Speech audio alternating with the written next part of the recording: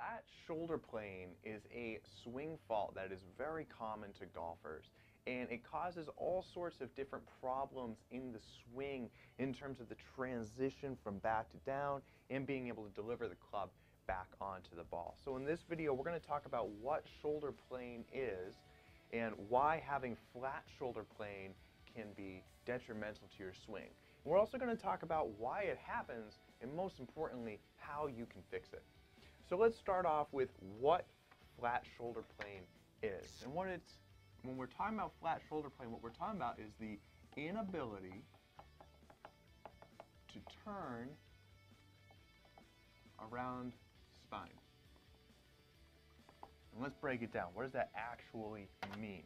Well, when we build our stance, we're going to set our spine at a certain angle, depending a little bit on the shot that we're about to hit. And then the goal is how can we rotate around that spine without, without allowing it to change its angle. In a different video, we've talked about reverse spine angle and the tendency for this to come off towards the ball. But it could also be in other directions, whether we're standing up or moving, all sorts of things.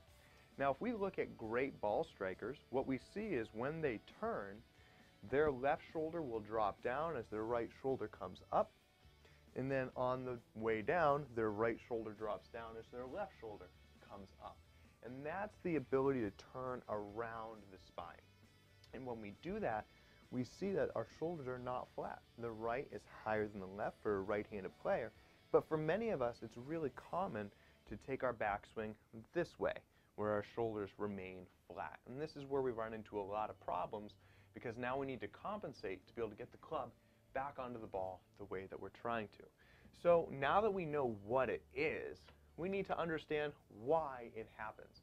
And there's two main things going on here. The first is tight shoulders.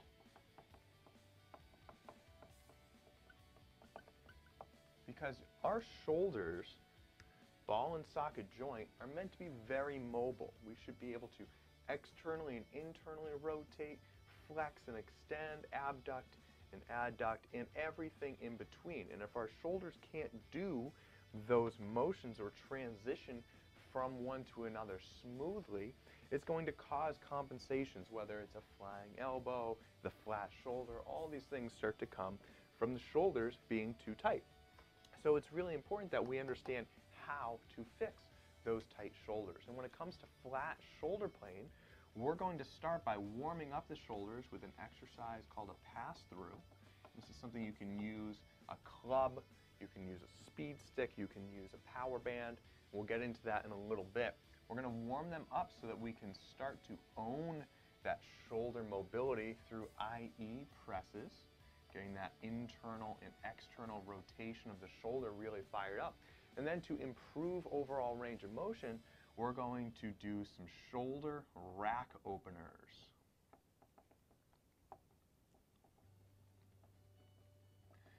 But this is only half the problem because again, this is tight shoulders, but it's only half of it. It'd be great if, you know, we don't actually rotate in our swing, but because we turn, the other part is thoracic rotation.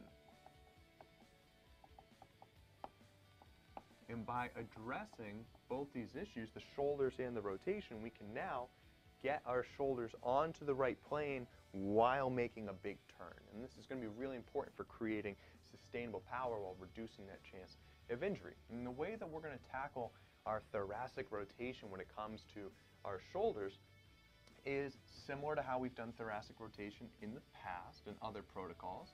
We're going to start off with a cat-cow because we really need to get the spine to flex and extend back and forth to, we'll call it lubricated or warm it up because we need to get that going before we can get into the rotation piece. Because remember, if your spine is already flexed, it won't rotate. So we have to open it to be able to get to the rotation. Once we get to the rotation, then we can improve our range of motion. We're going to do that through two techniques. The first one is a twist and tilt and the other is a crescent stretch. Now both of these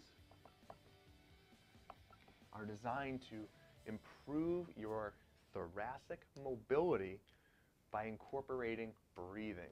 Along with a lot of the other things we do, breathing is super important here because we're going to use that breath of expanding our torso to actually create more mobility, which is really exciting. And so we're going to hit the thorax through all different areas. Forward and backward, side to side rotation is going to happen through this little protocol. And when you combine that with what we're doing to address the tight shoulders, all of a sudden your tendency to default to a flat shoulder plane begins to go away. One of my favorite ways to improve my shoulder mobility or warm them up before a round is doing something called a pass-through. And you can do a pass-through in many different ways using either a golf club or something like a power band. But what is so simple about it is that we all have a driver. Now let me show you how we do a pass-through and then I'll show you a variation of the pass-through called an egg beater in case you can't do the pass-through. Well, what a pass-through is, is we're going to put both hands on the outside of the club as wide as we can go and then keeping our arms straight, we're going to go all the way forward and backward till the club shaft touches our front side or back side.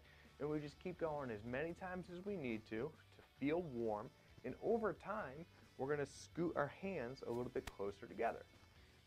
So a little bit closer, a little bit closer, and eventually you're going to get to a point where you can't go any closer, and that's perfectly fine. But some of you may find that you can't even do it as wide as possible, and that's where an egg beater comes in. An egg beater is simply working one side at a time. So I'm going to keep, for example, my right arm straight as I go forward and backward. You'll notice my left arm is bent, and it's just providing some, some slack and control of the club. If I want to make it harder, I can pull more with my left arm. If I want to make it easier, then my left arm comes more toward my body. And then I can switch sides. Now my left arm is straight, my right arm is bent. And as my shoulders start to warm up, I can go one into another and backwards. And then finally into the pass through that we started with. Okay? The key is to not ever force it, but just spend enough time getting your shoulders warm until they can do what you're trying to get them to do. The other way that I like doing this is through something with like a power band. And the power band is great because you can do the exact same thing that we were just talking about, Except now you're always providing a little tension. You're always pulling the band a little bit apart. And this is really great for getting your shoulders to open because it's a little bit more active. And while you can do the same thing with your club by pulling it apart a little bit, nothing's going to be quite as good as the power bands. But pass-throughs are by far one of my favorite ways to get the shoulders warm before you play, before you work out, and to improve your range of motion. One of my favorite shoulder mobilizations is also the simplest. What we're going to do is take our arm, stick it behind our back as far up as we can. Don't force it with your palm away from you. Once it's there, keeping your core braced, you're going to press your entire arm through your body and start to feel your shoulder kind of tingle. We inhale. Three, two, one. As you exhale, relax, and we switch. So that now your arm is up top, palm is now against your body. Get your hand as low as you can go without forcing it. And then again, we're going to push through our body. We're going to breathe in. Three, two, one. Exhale and relax. And then repeat back and forth as many times as you need to until you can feel that change in your shoulder. And then go ahead and work the other side. If you're having trouble in your swing because you have a flying elbow or you have a tendency to come over the top, then chances are you might need a little bit more of what we call shoulder external rotation. And a great way to get there is to grab your wedge, hold it on the rubber side, flip it over your shoulder, grab the shaft as high up by your armpit as you can, and then you pull your shoulder into external rotation as far as you can. Don't force it, okay? Because here's the magic to it is you're going to pull the shaft up, you're going to wind your shoulder up into what's called end range, where it just can't go any farther, and that's different for everybody. And then while you're in that position, you're going to contract and squeeze your shoulder, almost like you're trying to bend this club over your shoulder, but of course don't bend it. And if you're doing this, do not do it with your hand all the way down here and be too aggressive, because that could snap the shaft. Now, that being said, you could do it with something like a wooden dowel but if you're watching this right now, chances are good that you have a golf club.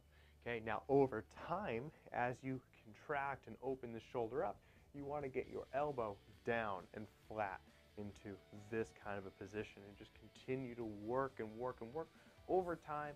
Contract, squeeze, breathe.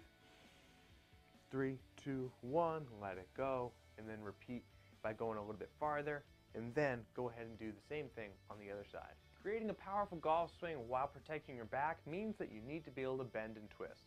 And a great exercise to help you do that is a cat-cow. So let's get on to our hands and knees with our hands underneath our shoulders and our knees underneath our hips. We're going to arch our back as we look up and inhale. And as we exhale, we're going to tuck our chin, round our back, tuck our hips, and look down. And we're going to go back and forth, timing this movement with our breathing until we can notice some significant difference in the way that we can bend and twist, as well as our posture when we're standing up or standing over the ball.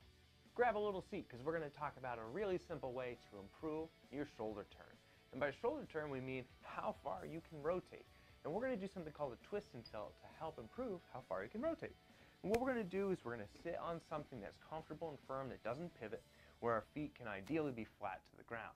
Now we're going to take our knees, bring them together, and then cross your right foot over your left foot.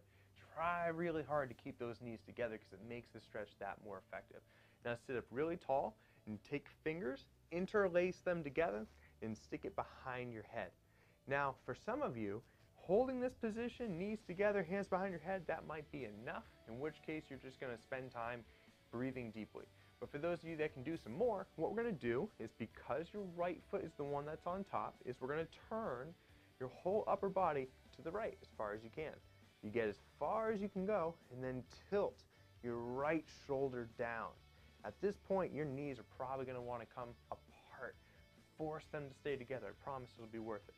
So we twist and we tilt.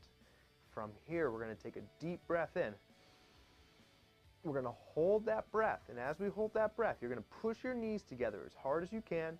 You're going to squeeze your fingers and you're going to pull your hands apart. So squeeze all of that for three, two, one, and then exhale and turn farther into your twist. Go back and forth, switching your legs each time as many times as you need to until you feel like you've improved that rotation. If we look at great players, as they move through impacts, they clear their hips out of the way and then turn through that shot, creating a lot of bend through the body. And for a lot of us, that bend is a hard thing to do. So let's learn a simple stretch called a crescent stretch that's going to help you improve that side bend.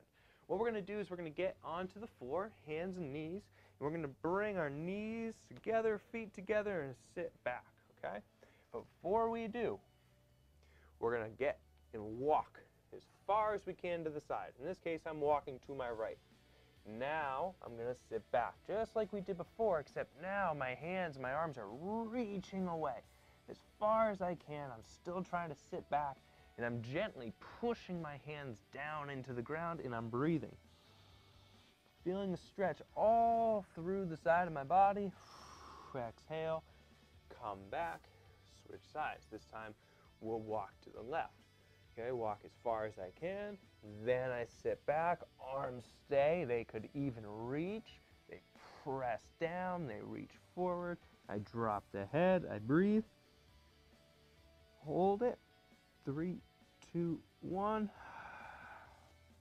And we go back and forth and back and forth, and you're going to feel everything start to open up and really free in your upper body.